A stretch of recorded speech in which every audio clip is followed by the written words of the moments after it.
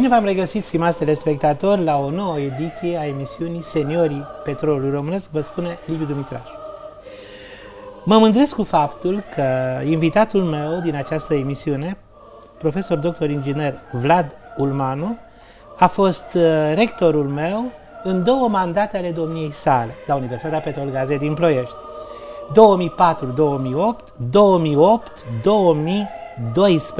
2008-2012. Domnule rector, bine ați revenit în emisiunea noastră. Vă mulțumesc, domnule profesor, pentru amabilitatea de a mă invita. Sincer, sunt onorat. Și pentru amabilitatea de a spune mi-a fost rector. Nu, noi în acea perioadă am fost colegi, pentru că n-ați anunțat auditoriul că, de fapt, ați fost prorector în toți acești ani. Și aș mai adăuga eu, așa cum am spus-o și în cadrul emisiunii când v-am invitat, atunci purtând cascheta de decan, și mă bândesc cu faptul că suntem prieteni. Și am rămas prieteni.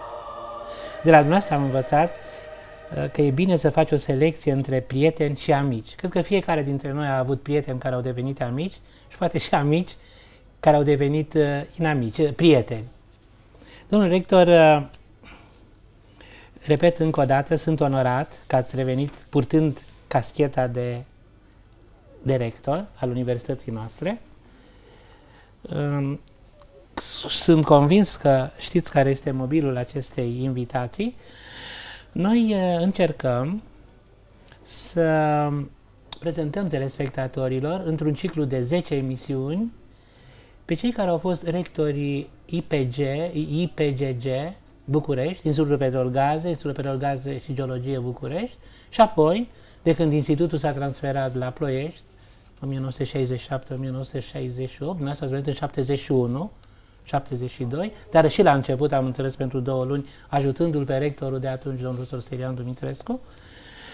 Când ați venit uh, la Ploiești, institutul, înainte de a se, a se chema IPG, se chema Institutul de Petrol din Ploiești, IPG din Ploiești, când de altfel s-a unit cu IPG-ul din, uh, din București, după care Universitatea de Petrol Ploiești, Universitatea Petrol Gaze Ploiești. Iată aceste metamorfoze care de multe ori pe cei neavizați îi încurcă să rostească numele corect, ca să nu mai zic descrierea corectă. Sunteți cunoscut, sunteți foarte cunoscut, dar uh, vă cer permisiunea să-mi fac puțin meseria și să extrag din complexul dumneavoastră CV câteva repere biografice. Uh, dacă omit ceva, vă rog să mă opriți dacă greșesc ceva, vă rog să mă corectați, să încep. Dar văd că aveți multe pagini acolo. Au multe pagini, așa sunt. Eu sunt un personaj dezordonat, m-ați testat de, câte, de câteva ori cu ordine. Haideți să încercăm și acum. Invitatul meu s-a născut la Tărățel, Brad, Hunedoar. În anul 1944, ziua 17, luna martie, am spus anul, unde ați urmat și cursurile școlii primare. Liceul l-a efectuat, l-a făcut, l-a efectuat, să zicem, în Hunedoara, iar nu, în an... nu, liceul în București. În București, da? Da, liceul Gheorghe Lazar din București. Deci liceul Gheorghe Lazar în București, da? da. A, unde ați fost coleg cu, cu multe personalități, Adevărat, nu? foarte da? multe. Da? Da? Foarte multe. Era la vremea aceea... Cu Pitiș, pare mi se cu... Un liceu, cu Pitiș am fost coleg de bancă. De, de bancă? Da. Da. Mi-a plăcut foarte mult. Dan Tufaru, Melania Cârje. Da, apropo de Melania Cârge, un surâs în plină vară. Deci, uh, noi am mai și discutat. Și, și cu o colegă de-a noastră, nu. Mă refer la Sanda Șchiopescu. Sanda Bărăscu. Sanda Mărăscu, da. Care, care fost... apoi, prin căsătorie, mă rog, și-a schimbat numele. Deci, Din păcate George, nu mai e printre Liceul George Lazar, îmi cer scuze. Acum aș vrea să vă spun, mi-am amintit de Liceul George Lazar. Eu am luat această scurtă prezentare dintr-o lucrare cu care am mai avut niște probleme, elitele industriei de petrol, și o să transmit uh, da, știam că celui, sunt, celui care a îngrijit multe, această ediție. Multe erori acolo. Multe erori și îmi pare foarte rău că spun acest lucru. În 1967 ați absolvit Facultatea de Mașini și Utilaj Petrolier 66. Din, 66, din cadrul IPGG București, cu rezultate excepționale. Aici am un adagio. În timpul facultății se alătură echipei artistice a Institutului, fiind un bun muzician, pianist și acordeonist, spectacolele realizate de către studenți erau foarte bine primite de public. Știu că v-ați, imprima, v-ați implicat foarte mult în acel timp. Unele au fost realizate de celebru Valeriu Lazarov. Și da, aici și putem completa. Era, uh, la vremea aceea, mișcarea studențească era foarte activă, inclusiv partea artistică și era o competiție între universități, iar în universitatea noastră a fost rugat și și-a făcut uh, o parte din meserie Valeriu Lazarov. Și-a făcut mâna, cum se spune, da? Și a adus și un pianist foarte bun, nu știu dacă e cunoscut de oameni, Paul Genzer. Cum să Și formația a fost condusă de Paul Genzer. Cel de la Radio Vacanța cu acea melodie ritmată. Foarte interesant. Păcat că n-ați adus și niște imagini, dar... Uh, mai stătea nici... mai rău la vremea aceea cu imaginile. Acum, dacă tot m-ați provocat, uh, eu am învățat foarte multe de la dumneavoastră, special pe relații internaționale.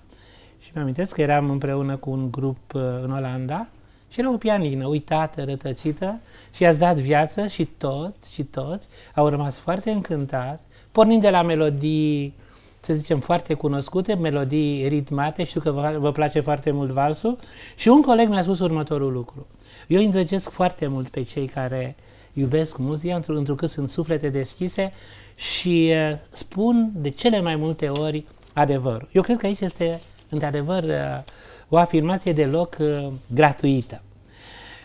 Aș vrea, am pus aici o imagine, domnule rector, pe care bănuiesc că o recunoașteți. Este vorba de IPGG. Institutul de Petrol, Gaze și Geologie din București. Din București. Imediat după ce ați absolvit acest institut, deci ați absolvit în 66, da? da?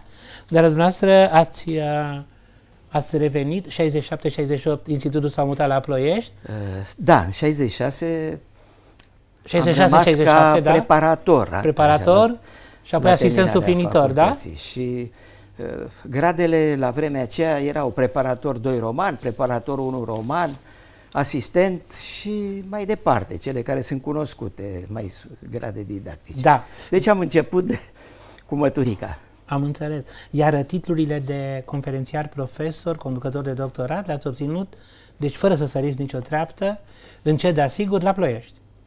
Conducător da. de doctorat, am spus, în 1990, da? Da. Câți Ați numărat cumva, v-a preocupat, uh, unii numără, contabili dumneavoastră, câți ba, doctori uh, există au trecut prin mâna dumneavoastră? Aici două cifre.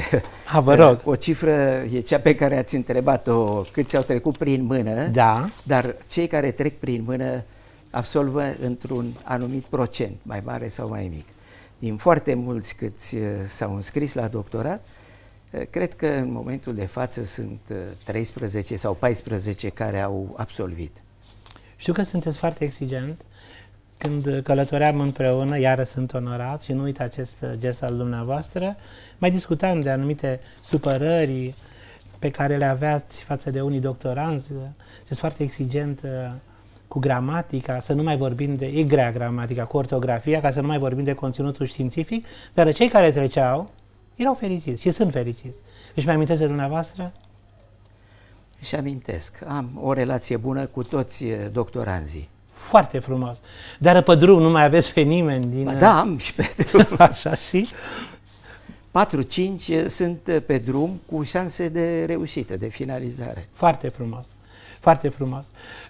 Domnule rector, dintre maestrii de viață ai dumneavoastră, citind cât am putut eu să citesc, am numărat sau am identificat doi. E vorba de profesorul Minoiu și profesorul Dumitru Rașe. Poate că mai sunt și alții care v-au marcat.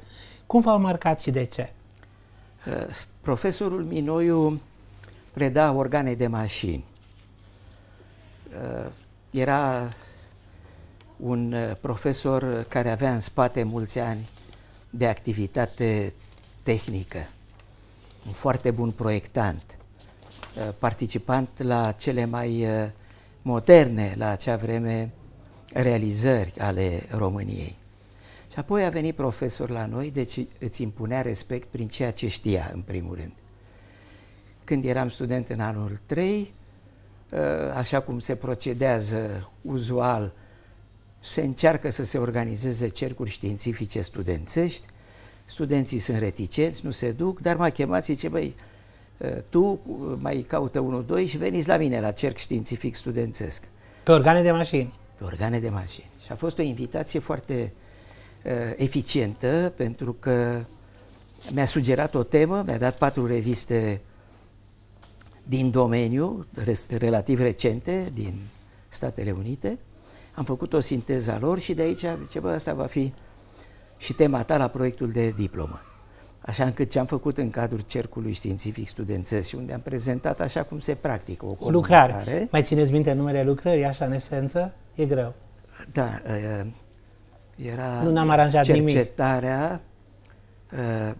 comportării ambreiajelor cu fricțiune de la instalațiile moderne de foraj. Publicată în 1966, da?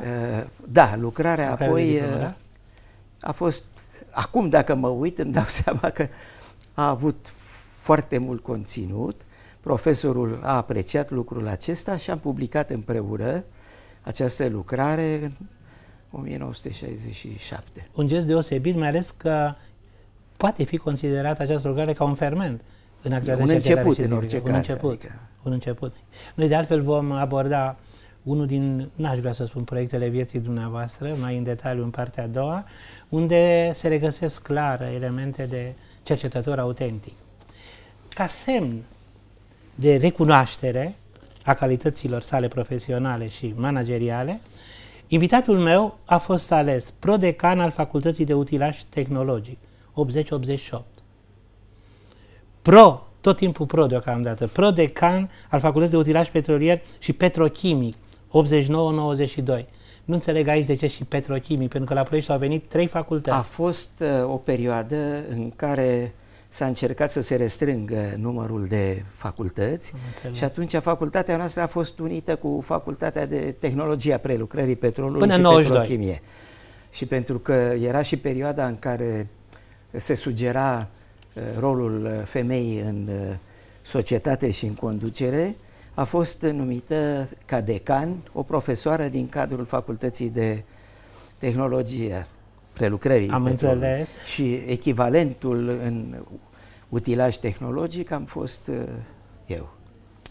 Atunci era femeie, acum este femei, deci mă rog, și cu, ca să mai glumim da. puțin. Decan. Fost decanul Facultății de Inginerie Mecanică și Electrică. Un mandat. Noi am dezvoltat acest subiect, dar îmi face plăcere să ne amintim în perioada 1992-1996. Da. ați venit ca decan, deci 92-96, după, după profesorul Tocaci. Tocaci. Profesorul Tocaci. Prorector, două mandate, 1996-2004. A fost, a fost pentru rectorul Nicolae Napoleon Antonescu, da? Pe probleme de învățământ, nu? Da pe probleme de învățământ. Și din anul 2004, două mandate, 2012, rector al Universității Petrol Gaze Ploiești. Eu deja am început să prezint uh, telespectatorilor câteva imagini din biroul dumneavoastră ca rector. Iată aici firea dumneavoastră deschisă, da? Vă mai amintiți și știu, cred că mai intrați în biroul de rector. Mai sunt modificări? Nu. Nu. Oamenii nu birourile alții. se modifică, ci înțeles, oamenii. Da? Uh, foarte rapid o să trec. Iată, tot în biroul dumneavoastră. Nu, nu vreau să le comentăm acum. Câte, câteva instantanee pe care le-am uh, le-am surprins eu. Și, de asemenea, aș vrea să spun telespectatorilor și recunosc, n-am reușit niciodată să ajung la nivelul dumneavoastră privind dezvoltarea relațiilor internaționale, dar, dar, dar, aveți o mare experiență și uh, n-aș vrea să contabilizez, ați realizat foarte multe protocoale, foarte multe universități. Iată, deja, și uh, vreau să, chiar să mă repet, aveți știința de a face lucrurile să se întâmple. Și niciodată nu cedați la principiile dumneavoastră. Iată câțiva omologi care au trecut, ai dumneavoastră care au trecut prin biroul dumneavoastră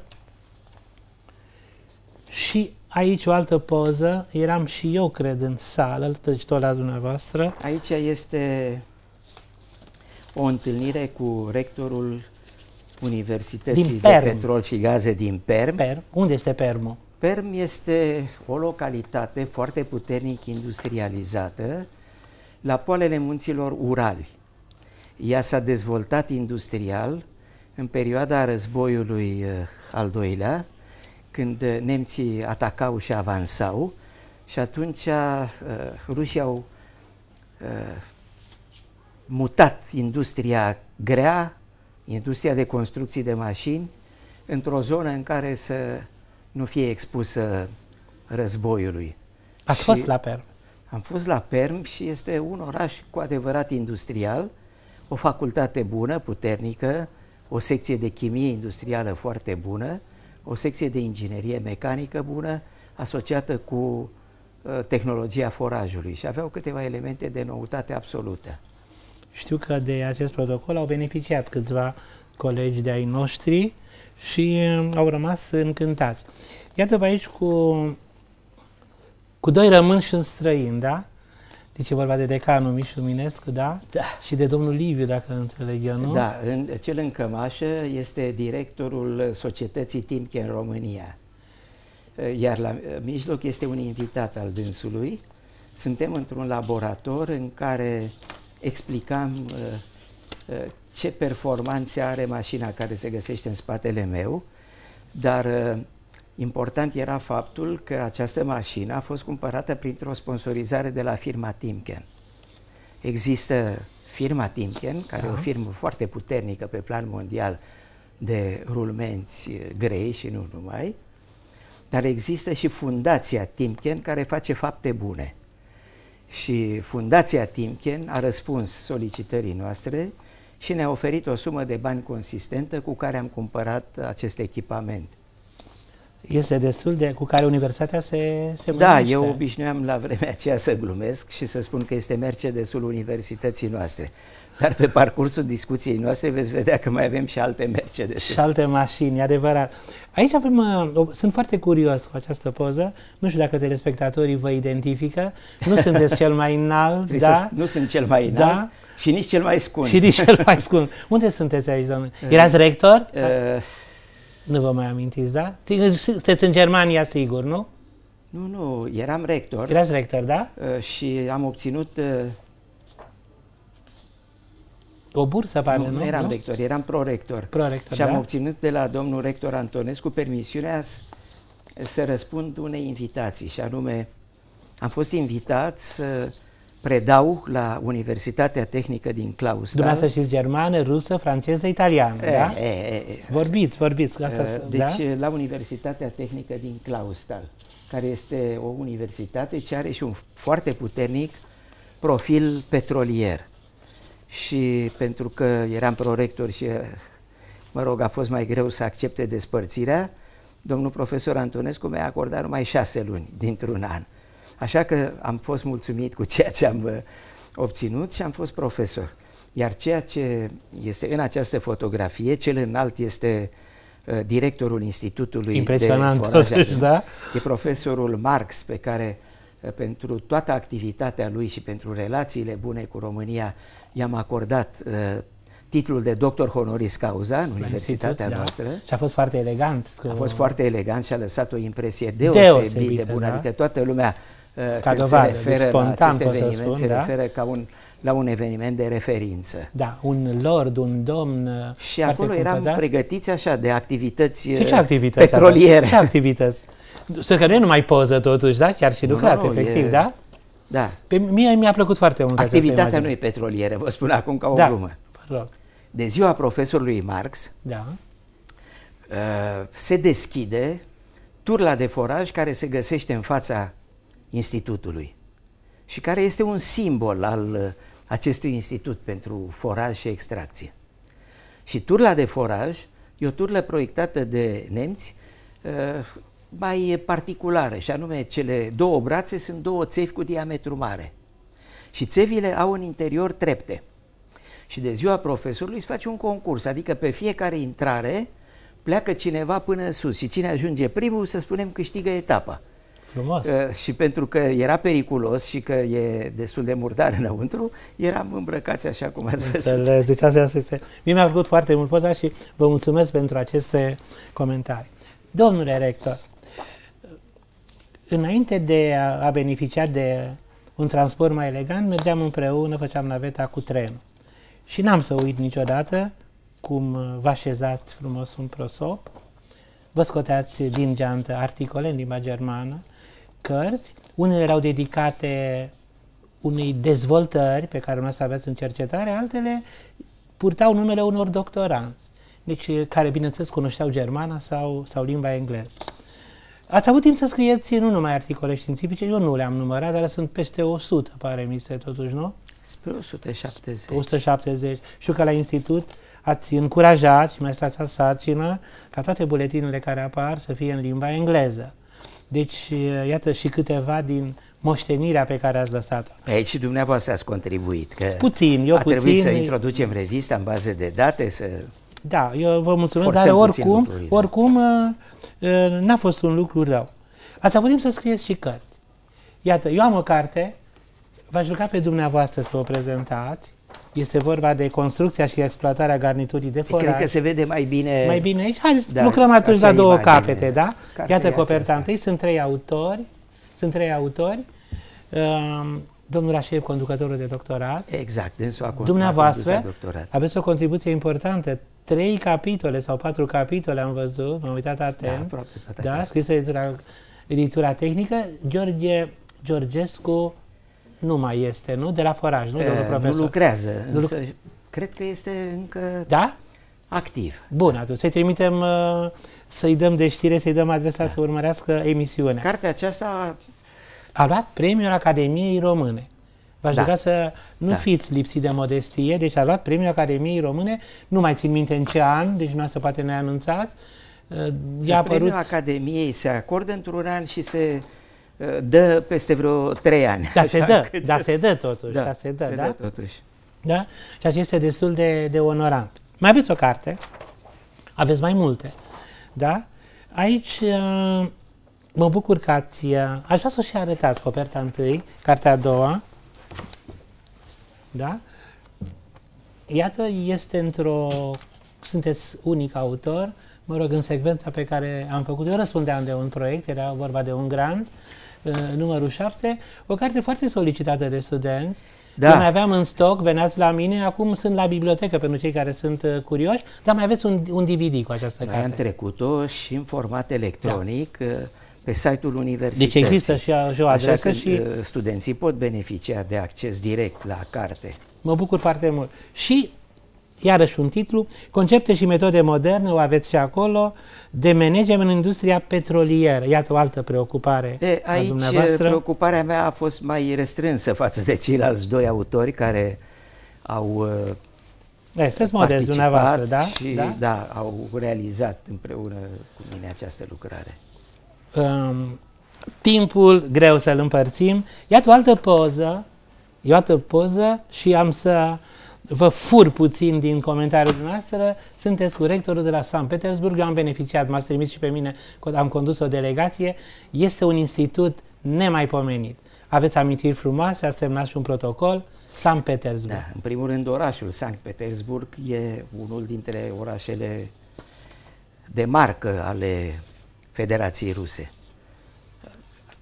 Din punctul nostru de vedere, există o universitate care acum are preocupări în domeniul petrolului, care este cea mai veche universitate din Rusia.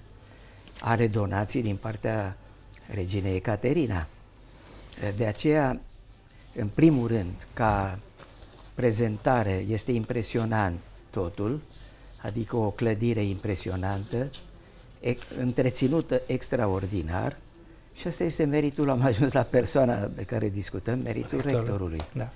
Uh, noi am beneficiat uh, de uh, prietenia, să spunem, cu această universitate, prin faptul că dânsi organizau anual o competiție a studenților și tinerilor cercetători. Da.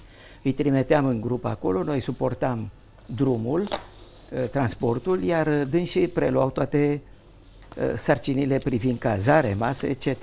Ospitalier. Și din acest punct de vedere a însemnat pentru noi o deschidere extraordinară, pentru că toți tinerii aceștia veneau în contact cu alții, se puteau raporta la nivelul lor de cunoștințe. Am Do rămas într-o relație foarte, foarte bună. bună, da, și au beneficiat foarte mulți. și cadre didactice și studenți, deși drumul e, este lung, dar merită. Domnul rector, cunoașteți bine care sunt legile televiziunii, regia nu ne iartă. Vă rog să fiți amabili și să facem o scurtă pauză, după care vom continua să navigăm, să navigăm așa cum ne-am propus.